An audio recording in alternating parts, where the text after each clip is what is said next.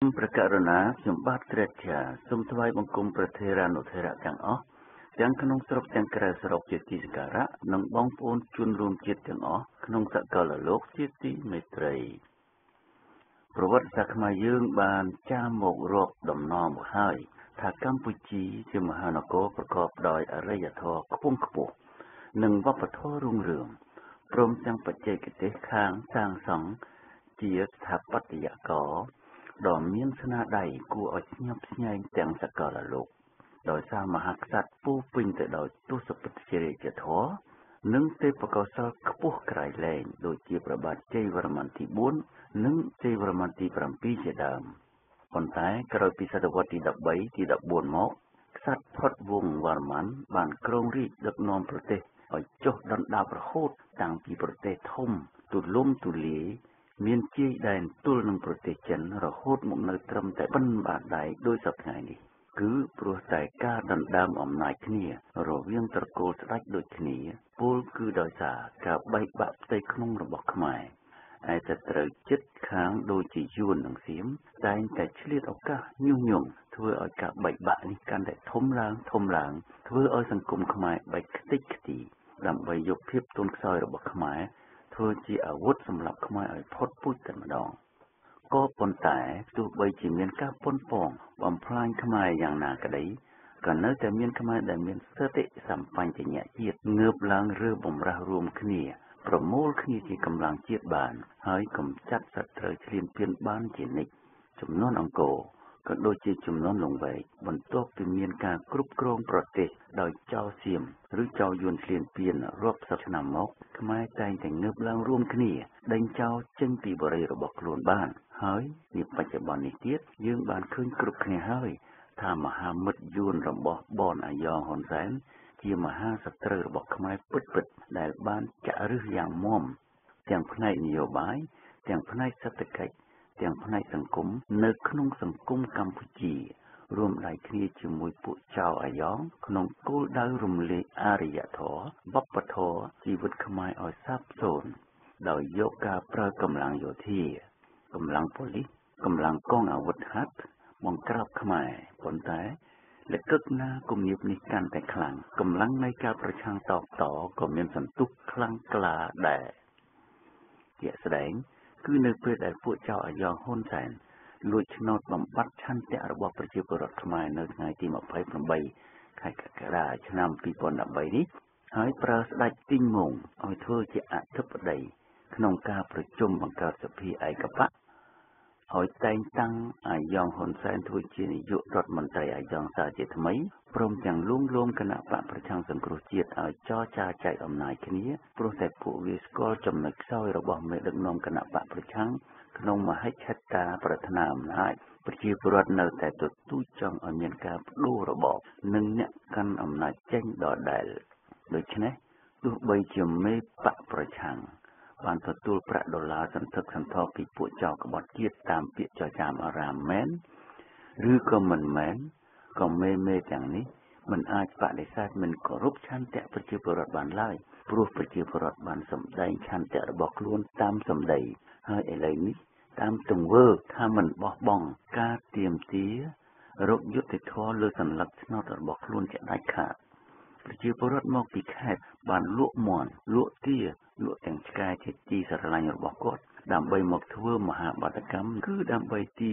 រោគយុទ្ធធរលើសញ្ញាឆ្នោតរបស់គាត់ព្រោះគាត់មិនទទួលស្គាល់សភាខុសច្បាប់រដ្ឋាភិបាលខុសច្បាប់និងនាយករដ្ឋមន្ត្រីខុសច្បាប់នោះទេគាត់បានទទូចសុំគណៈដឹកនាំគណៈបកសង្គ្រោះជាតិគុំឲ្យចរចាជាមួយពួកអាយ៉ងក្នុងករណីណាក៏ដោយឥឡូវនេះដល់វេនប្រធាន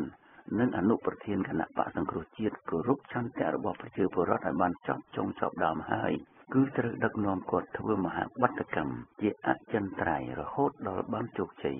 ទោះបីជាមានឧបសគ្គប៉ុណ្ណាក្តីព្រោះគាត់បានបដិញ្ញាថានឹងបូជាជីវិតសម្រាប់មូលហេតុជាតិនេះហើយកលៈទេសៈនេះប្រធានគណៈបកប្រឆាំងត្រូវតែបង្ហាញសេចក្តីក្លាហានតទល់នឹងកងប្រដាប់អាវុធរបស់បនអាយ៉ងយ៉ាងចេញមុខ គ្មានត្រូវការរារាទៀតទេ ដើម្បីសង្គ្រោះរំដោះជាតិពីក្រញាំយួនឈ្លានពានព្រោះបញ្ហាខ្មែរគឺជាបញ្ហារវាងខ្មែរនិងយួនរាតត្បាតទឹកដី មិនមែនត្រឹមតែជាបញ្ហារវាងអាយ៉ងនិងប្រជាពលរដ្ឋខ្មែរប៉ុណ្ណោះទេ នៅថ្ងៃទី23ដុល្លារឆ្នាំ2013 ដែលគណៈបកប្រឆាំងនិងប្រជាពលរដ្ឋកំពុងតែជុំគ្នានៅទីលានប្រជាធិបតេយ្យរាប់ម៉ឺននាក់ពួកអាយ៉ងបានដឹកកងទ័ពចល័តចូលក្រុងជាច្រើនរថយន្តរាប់រយគឺក្នុងបំណងគំរាមនិងបង្ក្រាបប្រជាពលរដ្ឋត្រង់ត្រង់តែម្ដងទង្វើនេះបង្ហាញនៅចេតនាបង្កហិង្សាប្រឆាំងនឹងប្រជាពលរដ្ឋជាប្រកបណាស់ក្នុងកាលៈទេសៈដែលសភាពការឡើងតានតឹងយ៉ាងនេះ យើងសួរថាតើគណៈបកប្រឆាំងនិងបាតុករមានមធ្យោបាយអ្វីទប់ទល់ឬទេបាតកម្មនេះជាបាតកម្មអហិង្សាគឺជាបាតកម្មមានតែដៃទទេទល់នឹងពួកអញ្ញាធរមានអាវុធពេជ្រដៃនេះជាករណីអតារងប្រយុទ្ធនឹងខ្លាតើតែអតារងមានកម្លាំងស្មើនឹងខ្លា ឬមានស្នៀតពិសេសទើបកាច់ខ្លាបាន អតារងតាមធម្មតាច្បាស់ជាខ្លាំងជាងខ្លា បើពុំនោះទេ គេមិនហៅថាអតារងទេ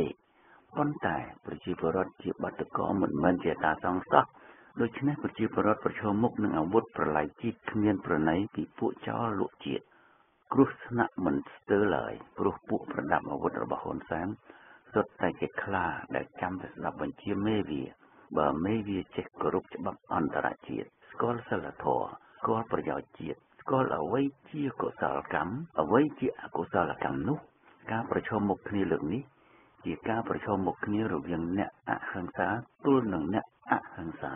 លទ្ធផលច្បាស់ជាមានដំណោះស្រាយដោយអហិង្សាមិនខានប៉ុន្តែមេវាគឺជាជនកុម្មុយនីសមានចរិតដេរិឆានណោមិនដែលញញើតប្រើហិង្សាតនឹងអ្នកប្រឆាំងម្ដងណាឡើយ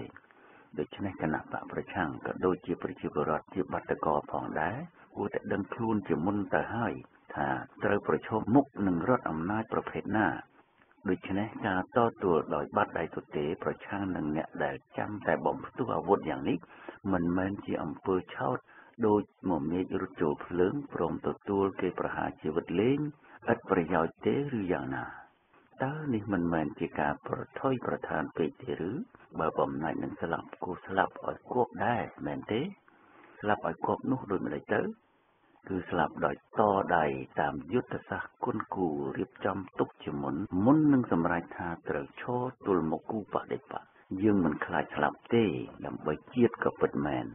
ប៉ុន្តែត្រូវបដូរជីវិតយើងនិងជីវិតគូបដិបត្តិដូចគ្នាទើបសេចក្តីស្លាប់របស់យើង មានលទ្ធផលជីវិតជីវៀនដល់មូលហេតុជាតិពិតប្រាកដព្រោះប្រសិនបើស្ថានភាពវិវត្តទៅរកការបង្ហូរឈាមដោយចេតនាពីសំណាក់ពួកបោះណាយ៉ងហ៊ុនសែនមែននោះយើងគ្មានជំរឿសចុងក្រោយណាជៀសវាងការបង្ហូរឈាមដើម្បីឈ្នះឆ្ពោះទៅរកគោលបំណងរបស់យើងនោះឡើយព្រោះថាជ័យជំនះលើពួកអាយ៉ងជាជំហានសំខាន់បំផុត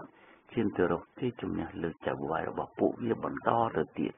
ខ្មែរដឹងណាស់ថាយួនខ្ចីដៃខ្មែរអាយ៉ងឲ្យសម្លាប់ខ្មែរជំនួសវាប៉ុន្តែពួកអាយ៉ងនៅតែជឿថាវាសម្លាប់សត្រូវរបស់វាដដែលខ្មែរក៏ដឹងដែរថាមានសេរីភាពណាដែលបានមកដោយសេរីនោះឡើយគ្មានការប្រឹងប្រែងដោយគ្មានការធ្វើពលិកម្មគ្មានការបដិញ្ញាចិត្តមុះមុតតស៊ូនោះឡើយដូច្នេះ ពលិកម្មជាកាតព្វកិច្ចរបស់ខ្មែរគ្រប់រូបដែលចង់ឲ្យមានការផ្លាស់ប្ដូរចង់ឲ្យប្រទេសចេញផុតពីភាពអន្តរការក្លាយជាប្រទេសនៃនីតិរដ្ឋប្រកបដោយសេរីភាពនិងប្រជាធិបតេយ្យបដិវត្តការឈូកបានព្រមានតាំងពីដំបូងមកម្លេះ ថាឲ្យជៀសវាងចូលទៅបោះឆ្នោតប្រថាប់ត្រាឲ្យពួកចៅអាយ៉ងដើម្បីនាំគ្នាប្រើមធ្យោបាយអហិង្សាឲ្យបានស័ក្តិសិទ្ធិធ្វើឲ្យសហគមន៍អន្តរជាតិស្ម័គ្រចិត្តចូលមករៀបចំគោលចូលបតាមຂະຫນាតអន្តរជាតិជាមុនសិនមុននឹងធ្វើការបោះឆ្នោតឥឡូវនេះគ្មានអ្វីហួសពេលទេគ្រាន់តែស្ថានភាពវិវត្តពីអហិង្សាឈានទៅរកហិង្សាជាយថាហេតុប៉ុណ្ណោះដូច្នេះ យុទ្ធនាការអហិង្សារបស់បដិវត្តការជូកក៏ត្រូវអនុលោមទៅតាមស្ថានភាពនេះដែរយើងបានអំពាវនាវឲ្យបងប្អូនរៀបចំបង្កើតក្រុមប្រឹក្សាជាតិអន្តរកាលដើម្បីធ្វើការអនុវត្តយុទ្ធសាស្ត្រនិងយុទ្ធវិធីសមស្របទប់ទួលនឹងអំពើហិង្សាជាយថាហេតុពីសំណាក់អាជ្ញាធរអាយ៉ងឥឡូវយើងមានតែអនុសាសន៍បន្តិចបន្តួច ជូនបងប្អូនក្នុងស្ថានភាពសង្គ្រាមតទួលចេញមុខជាយថាហេតុនេះគឺទី1បងប្អូនមិនត្រូវនៅពពកពពូនផ្ដុំគ្នាជាមួយកន្លែងនៅមួយកន្លែងរកតែដើរទៅណាមកណាមិនរួចណូចនៅមុខទីលានប្រជាធិបតេយ្យនោះទេគឺត្រូវបំបែកគ្នាជា4ស្រទាប់ឃ្លាតពីគ្នាប្រមាណជា50ម៉ែត្រទី2ក្នុងស្រទាប់នីមួយៗមានគ្នាប្រមាណជា300ទៅ400នាក់ទី3 នៅស្រទាប់នីមួយៗត្រូវចាត់គ្នាជាក្រុម50នាក់សម្រាប់លើកឬសែងអ្នករបួសចេញពីស្រទាប់ខាងមុខទី4ស្រទាប់ទាំង4នេះ ជាស្រទាប់ប្រឈមមុខចំ ទី5ត្រូវមានស្រទាប់1ឬ2នៅខាងឆ្វេងនិងខាងស្ដាំស្រទាប់កណ្ដាលដើម្បីប្រឈមមុខនឹងសត្រូវឆ្វេងស្ដាំ ទី6អ្នកនៅស្រទាប់ទី1គឺជួរខាងមុខគេ ត្រូវប្រដាប់ដោយស្បូងកាគឺលាមកនឹងទឹកមត់ទុកជាស្រេចដើម្បីគប់តម្រង់សត្រូវពេលណាពួកនេះវាយប្រហារតាមអាវុធរួចជន្លៀសខ្លួនតាមច្រកចន្លោះរវាងស្រទាប់កណ្ដាលនិងស្រទាប់ឆ្វេងស្ដាំ ទី7ក្នុងពេលជាមួយគ្នានោះ ស្រទាប់កណ្ដាលបន្ទាប់គឺស្រទាប់ទី2ត្រូវប្រដាប់ដោយដបសាំងនិងដាច់កេះបញ្ឆេះគប់តម្រង់សត្រូវពេលវាវីឬបាញ់ប្រហារគ្មានឈប់រួចដកថយតាមច្រកចន្លោះរវាងស្រទាប់កណ្ដាលនិងស្រទាប់ឆ្វេងស្ដាំដូចពួកមុនមុនទី8ស្រទាប់ទី3ប្រដាប់ដោយនឹងដាច់កេះបញ្ឆេះគប់តម្រង់សត្រូវឲ្យស្រុះគ្នាតាមសម្រេចបញ្ជារួចគិចតាមច្រកចន្លោះរវាងស្រទាប់កណ្ដាល និងស្រទាប់ឆ្វេងស្ដាំដូចពួកមុនមុន ទី9ស្រទាប់ទី4និងស្រទាប់ឆ្វេងស្ដាំ ប្រដាប់ដោយខែលនិងផ្កាក់សម្រុកចូលប្រយុទ្ធខ្លួនទល់នឹងខ្លួនយកចាញ់ឈ្នះតែម្ដង យើងត្រូវមានក្រុមពិសេសមួយមានប្រមាណជា50នាក់ប្រកបដោយបច្ចេកទេសវិឆ្មក់រត់ក្រោះដោយយកដបសាំងឆេះក្រវែងទៅលើរថក្រោះនិងរថយន្តដឹកទ័ពជំនួយរបស់សត្រូវខត់កុំឲ្យមកក្បែរ វងបាតកោបាននេះជាយុទ្ធវិធីប្រឈមមុខនឹងវាឆ្មក់ចំពោះអ្នកដែលគ្មានកំភ្លើងឬអាវុធទាន់សម័យដូចពួកអាយ៉ងសោះយើងមិនសង្ឃឹមថាហ៊ុនសែនជារលឹកឈប់ប្រើអាវុធបង្ក្រាបបាតកោនោះទេប៉ុន្តែយើងនៅមានជំនឿលើមនសិការជាតិរបស់បងប្អូន ទាំងទាហាន ទាំងស៊ីវិលមួយចំនួន ដែលនៅក្រោមបង្គាប់របស់អាយ៉ងហ៊ុនសែនថាអាចបែរអាវុធចង្អុលដី ឬក៏បាញ់បង្អស់គ្រាប់ទៅលើមេឃ បញ្ជាបាតកោជៀសវាងការបង្ហូរឈាមរវាងខ្មែរនិងខ្មែរហើយបើមានវត្តមានយួនបង្កប់ក្នុងជួររបស់ខ្លួនដែលខ្លួនស្គាល់ខ្លួននឹងតម្រង់ចុងអាវុធទៅរកពួកនេះជាមិនខានប្រសិនបើការធ្វើបាតកម្មអហិង្សាបានទទួលការតបតដោយហិង្សាពីពួកអាយ៉ងមែននោះសហគមន៍អន្តរជាតិក៏គេមិនខ្វាក់ភ្នែកនៅស្ងៀមចាំមើលនោះដែរព្រោះស្ថានភាពអាចវិវត្តយ៉ាងរហ័សទៅរកសភាពការនៅប្រទេសអារ៉ាប់ជាមិនខាន យើងសង្ឃឹមថាអន្តរជាតិនឹងងាកមករកកិច្ចព្រមព្រៀងទីក្រុងប៉ារីថ្ងៃទី23ដុល្លារឆ្នាំ1991សារជាថ្មី ដើម្បីរកដំណោះស្រាយបញ្ហាកម្ពុជាឡើងវិញ។អ្នកដែលផ្ដើមគំនិតចង់បានកិច្ចព្រមព្រៀងអន្តរជាតិដើម្បីដោះស្រាយវិវាទរវាងបកទាំង4ក្នុងអំឡុងឆ្នាំ80នោះគឺពួកបញ្ញវន្តនៅប៉ារី ហើយអ្នកដែលមានលទ្ធភាព ស្នើឲ្យប្រទេសទាំង18មកជាហត្ថលេខីនៃកិច្ចព្រមព្រៀងថ្ងៃទី23ដុល្លារឆ្នាំ1991នោះគឺស្ដេចសីហនុប៉ុន្តែក្រោយការបោះឆ្នោតដោយអ៊ុនតាឆ្នាំ1993មកអ្នកដែលមិនគោរពតាមស្មារតីនៃកិច្ចព្រមព្រៀងនេះមុនគេក៏គឺស្ដេចសីហនុនេះឯងចំណែកអ្នកដែលបានចុះហត្ថលេខាលើសន្ធិសញ្ញាបំពេញបន្ថែមឆ្នាំ2005 ធ្វើឲ្យសន្ធិសញ្ញាឆ្នាំ1979 1982 1983និង1985មានសុពលភាពសម្រាប់កិច្ចព្រមព្រៀងប៉ារីចោលនោះ គឺស្ដេចកូនស៊ីហមុនីសប្តាហ៍នេះឯងដូច្នេះហើយបានជាមានអ្នកខ្លះនិយាយថាដើម្បីឲ្យកិច្ចព្រមព្រៀងនេះរស់ឡើងវិញ គេត្រូវអង្វរឬបង្ខំឲ្យស្ដេច សេហមុនីមកខៈនៅសន្ធិសញ្ញាបំពេញបន្ថែមចោលជាមុនសិនតាមពិតស្មារតីនៃកិច្ចព្រមព្រៀងនេះគឺប្រទេសហត្ថលេខីទាំងអស់រួមទាំងយួននិងសៀមផងព្រមទាំងកម្ពុជាផង ធ្វើឲ្យកម្ពុជាជានីតិរដ្ឋមានអធិបតេយ្យគ្រប់គ្រាន់ឯករាជ្យ គោរពសិទ្ធិមនុស្សនិងប្រជាធិបតេយ្យហើយបច្ចុប្បន្ននេះកម្ពុជាបានកប់កិច្ចព្រមព្រៀងនេះចោលហើយបានក្លាយជារដ្ឋកាន់អំណាចផ្ដាច់ការដែលប្រជាពលរដ្ឋខ្មែរទាំងក្នុងទាំងក្រៅផ្ដន់ទានិងទាមទារឲ្យផ្លាស់ប្ដូរចេញការទាមទារនេះ ស្របតាមស្មារតីនៃកិច្ចព្រមព្រៀងប៉ារីសទាំងស្រុងហើយជាសិទ្ធិស្របច្បាប់អន្តរជាតិរបស់ប្រជាពលរដ្ឋខ្មែរផងព្រោះជាការទាមទារឲ្យប្រទេសហត្ថលេខីទទួលខុសត្រូវតាមអ្វីដែលពួកខ្លួនបានចុះហត្ថលេខានោះមិនមែនត្រូវបណ្ដោយឲ្យពួកអាយ៉ងយួនធ្វើអ្វីស្រេចចិត្តជាង30ឆ្នាំមកហើយនោះឡើយតទៅនេះ ខ្ញុំប្រកាសណាខ្ញុំបាទសូមយកសេចក្តីថ្លែងការណ៍របស់លោកសៀនពេញសែប្រធានគណៈកម្មការព្រំដែនប្រទេសបារាំងមកអានផ្សាយប្រកេននិងជូនជាទីសន្តាប់ដើម្បីពិចារណាទាំងអស់គ្នាសន្និសីទសន្តិភាពទីក្រុងប៉ារីស្ដីពីកម្ពុជាត្រូវបានរៀបចំឡើងបន្ទាប់ពីមានសេចក្តីស្នើចាប់ពីឆ្នាំ1987របស់យួនហាណូយដែលចង់ដកកម្លាំងទ័ពខ្លួនដែលកាន់កាប់កម្ពុជា ពួកយួនបានបញ្ជូនហ៊ុនសែនទៅផ្ដើមការចរចាជាមួយសម្ដេចនរោត្តមសីហនុនៅប្រទេសបារាំងជាបន្ទាប់មកអង្គការសហប្រជាជាតិបានណែនាំភាគីនានាដែលពាក់ព័ន្ធក្នុងការវិវាទនៅកម្ពុជាឲ្យជួបគ្នាចរចាល្អិតល្អន់ជាច្រើនលើកនៅប្រទេសថៃ នៅឥណ្ឌូនេស៊ីនៅចិន នៅជប៉ុននិងនៅបារាំង ជាបញ្ចប់ភាគីទាំងអស់ដែលមានចិនវៀតណាមនិងភាគីរបស់ហ៊ុនសែនផងបានអនុម័តនិងចុះហត្ថលេខាលើកិច្ចព្រមព្រៀងមួយចំនួនយ៉ាងច្បាស់លាស់នាថ្ងៃទី23ដុល្លារឆ្នាំ1991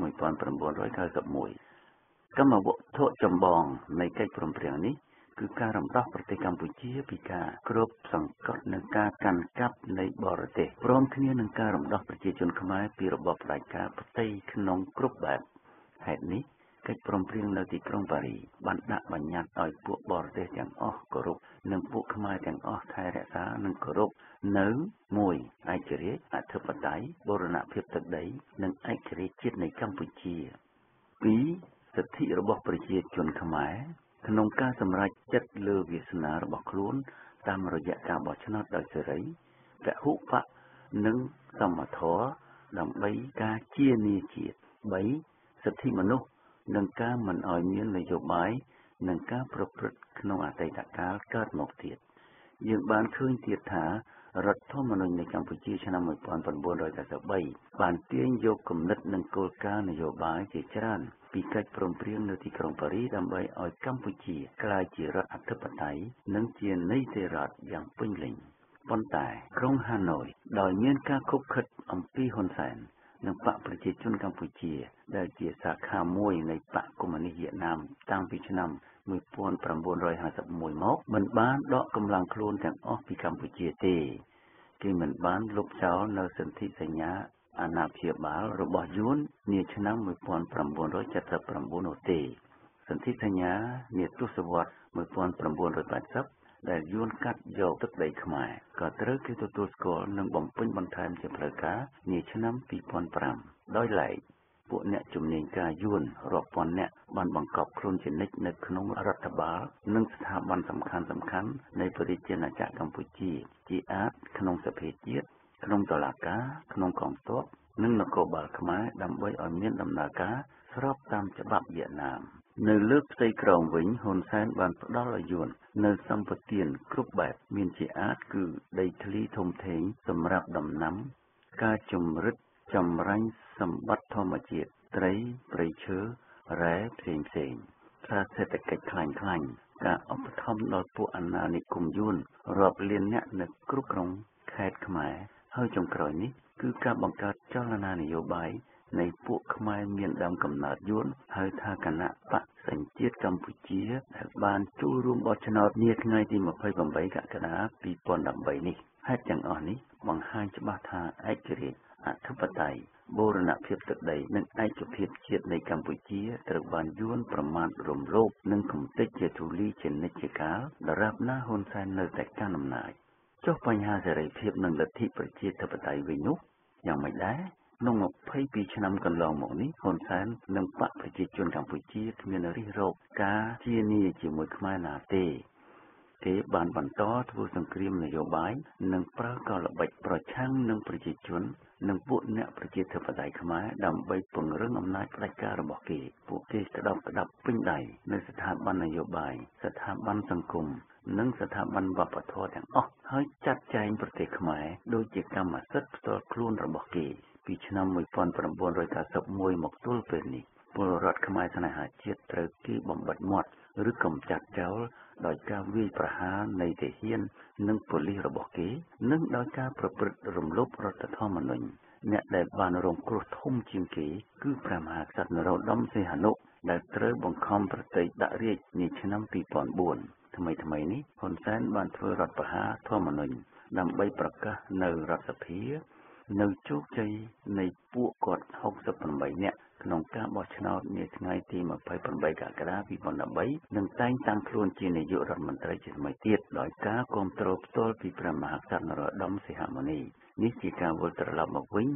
នៃប្រព័ន្ធកុម្មុយនីសនិងការប្រព្រឹត្តតាមរបៀបខ្មែរក្រហមដែលនឹងនាំមកនូវទុក្ខសោកនិងភាពអាប់អន់ជាថ្មីដល់កម្ពុជាទាំងមូលប៉ុន្តែយើងបានឃើញច្បាស់ថា នៅឆ្នាំ2013ប្រជាជនខ្មែរនៅគ្រប់ទិសទីគឺនៅទីក្រុងនិងនៅជនបទនានាបានងើបឡើងប្រឆាំងនឹងអយុត្តិធម៌និងអំណាចផ្ដាច់ការនិងអសិលធម៌នៃរបបហ៊ុនសែនយុវជនខ្មែរទាំងស្រីទាំងប្រុសបានលើកទង់នាំមុខយ៉ាងក្លៀវក្លាទាមទារការបដូររបបនយោបាយ ការបោះឆ្នោតនាថ្ងៃទី28កក្កដាក៏បានផ្ដល់ជោគជ័យជាប្រវត្តិសាស្ត្រដល់ពួកអ្នកប្រជាធិបតេយ្យខ្មែរនៃគណៈបកសង្គ្រោះជាតិកម្ពុជាហ៊ុនសែនត្រូវបានប្រជាជនខ្មែរនៅគ្រប់ទិសទីបរិហាគេនឹងស្គាល់ទោសហើយទម្លាក់ហ៊ុនសែនឲ្យចាញ់ឆ្នោតនៅគ្រប់កន្លែងជាអាចគឺនៅក្នុងមណ្ឌលបោះឆ្នោតនៅកន្លែងធ្វើការនិងនៅខេត្តដើមកំណើតរបស់គាត់តែម្ដងព្រឹត្តិការណ៍យ៉ាងនេះគឺជាការចេញដំណើរយ៉ាងប្រសើរណាស់ សម្រាប់ការស្ថាបនាជាថ្មីនៃលទ្ធិប្រជាធិបតេយ្យនិងនីតិរដ្ឋនៅប្រទេសកម្ពុជាយើងត្រូវធ្វើបន្តទៅទៀតដោយត្រូវប្រយុទ្ធតាមផ្លូវរំដោះកម្ពុជានិងប្រជាជនខ្មែរដែលកិច្ចព្រមព្រៀងនៅទីក្រុងប៉ារីនិងរដ្ឋធម្មនុញ្ញកម្ពុជាឆ្នាំ1993បានគូសត្រាយឲ្យយើងនេះហើយជាផ្លូវនៃសេរីភាពលទ្ធិប្រជាធិបតេយ្យយុត្តិធម៌និងសន្តិភាពជាសរុប គឺជាផ្លូវនៃកំណត់ថ្មីនៃកម្ពុជានិងប្រជាជនខ្មែរនៅក្នុងចំណោមប្រទេសសេរី និងប្រជាធិបតេយ្យនៃតំបន់យើងហើយយើងនឹងឈ្នះជាដាច់ខាតជ័យយោកិច្ចព្រមព្រៀងនៃទីក្រុងប៉ារីឆ្នាំ1991ជ័យយោប្រជាជនខ្មែរជ័យយោស្រុកខ្មែរ